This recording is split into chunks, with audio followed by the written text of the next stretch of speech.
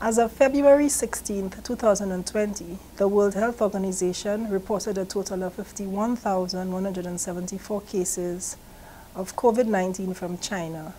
There are now 683 confirmed cases in 23 countries, which include Thailand 34, Japan 53, Republic of Korea 29, Vietnam 16, Singapore 72, Australia 15, Malaysia 22, Cambodia 1, Philippines 3, Nepal 1, Sri Lanka 1, India 3, United States of America 15, Canada 7, France 12, Finland 1, Germany 16, Italy 3 cases, Russian Federation 2, United Kingdom 9, Belgium 1, Spain 2, Sweden 1, United Arab Emirates 8, Egypt 1, and the cases on an international conveyance, that is a cruise liner in Japan, 355.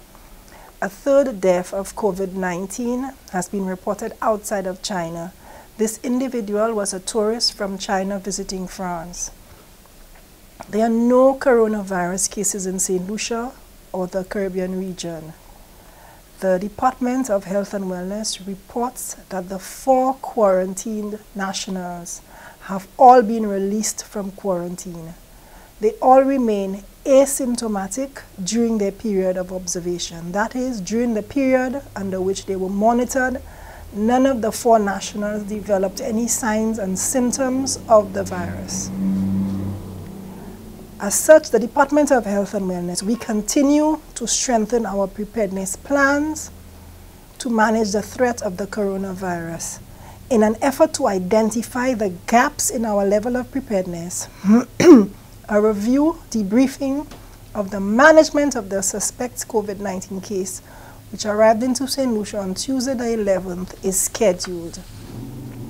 We continue to ask the public to practice standard recommendations to prevent the spread of any respiratory infection, and these include regular hand washing with soap and water, or alcohol-based hand sanitizers to cover the mouth and with disposable tissues when coughing and sneezing and to avoid close contact with anyone showing symptoms of respiratory illness as coughing and sneezing.